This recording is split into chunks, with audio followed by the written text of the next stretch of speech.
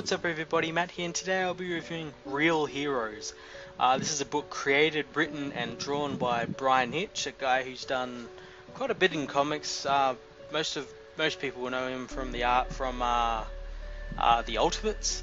Uh, and this is a book by in Image Comics. Uh, so let's get into it. So the comic starts off with 9/11, um, the terrorist attack on the World Trade Center towers, and a family uh, or uh, a woman and her son, you know, worrying about uh, her husband uh, named Martin Reynolds. He was on ladder 43, which is one of the one of the uh, firefighter units that actually went up into the towers before the towers collapsed.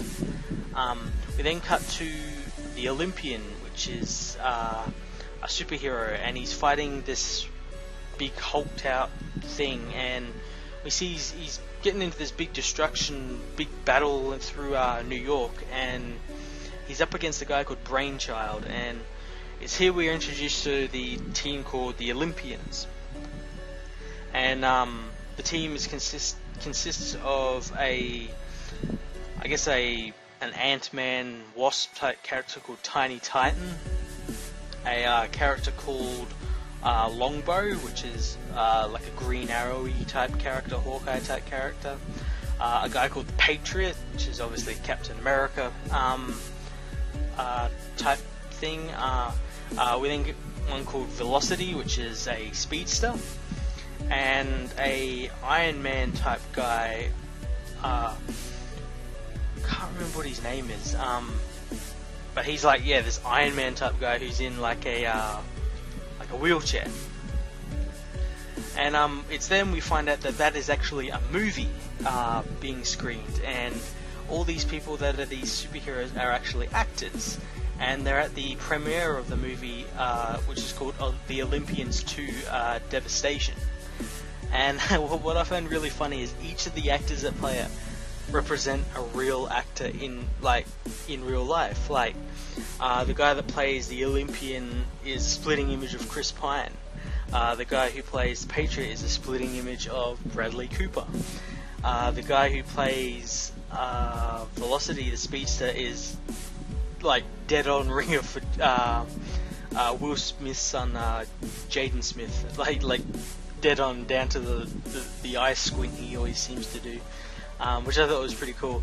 And, it's even funny because the movie itself is directed by Josh Trank, the guy who's um, uh, did Chronicle and is currently doing that uh, Fantastic Four movie nobody wants. Um, and then we, we sort of see him and we, we see like the um, Bradley Cooper type character is also like an amalgamation of Bradley Cooper and um, Robert Downey Jr. Like he even wears like those type of glasses Robert Downey Jr. always you see him wear at like the premieres and stuff. There's like sort of like orange tinted glasses, and he has sort of a background as well in like drugs and alcohol and all that. As seen when he meets a girl in the restroom who is doing cocaine, and uh, you know he went once in on it. Anyway, the stars of the movie all go up onto the stage and everything, and you know do the whole Avengers thing. You know they're all on the stage together and everything, and um, one of the one of the producers of the guys said they have like a special uh, event plan or a special guest, and it's one of the Devastators from the movie, and everyone's you know cheering, you know, oh Stan Winston made that. That's an actual line in in uh, the comic, you know, Stan Winston made it, uh, but then it just starts attacking people, like just out of nowhere, just blows people away, and it's like actually killing people, and um, these actors being actors, you know, they're all scared and everything. They end up, end up running back into the Chinese theater, and uh, this guy leads them through a door. Like he's like their sort of PR security type guy.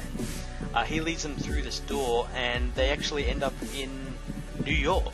And it's here we find out that they've actually been transported into a different world where the Olympians actually exist. And the reason they've been transported here by this guy is this guy used to sort of look after the Olympians. He was sort of like their um, their oracle, as best as I could display, explain. And he's brought them here to sort of help uh, their time because their time's been destroyed by like all these devastators and aliens and mutants and whatnot. And he sort of brought them in as you know as a symbol of hope, I guess. Um, and you know, he's I, I, I, guess planning on giving them powers or something, or making them look like they have powers. Uh, I'm not too sure, because um, that's where the uh, the comic ends. I'm gonna say this comic was pretty fucking cool. Um, I like the whole like it, like parody on like Avengers and you know obviously like Fantastic Four with the Josh Trank thing and yeah I thought it was cool and I liked how each of the uh, actors or like people portraying the Olympians were modeled after actual actors. Like you know, you got Chris Pine, you got your Bradley Cooper, you got your Jaden Smith. It's all pretty fucking funny. Um, I'm interested to see where this comic goes. I'm, I'm a pretty big fan of Bryan Hitch. I haven't read a, read some of his stuff recently, but um, I do actually own some books of his, and I might pop them back out while I'm reading this. It's definitely worth a read. I'm going to give this a 9 out of 10.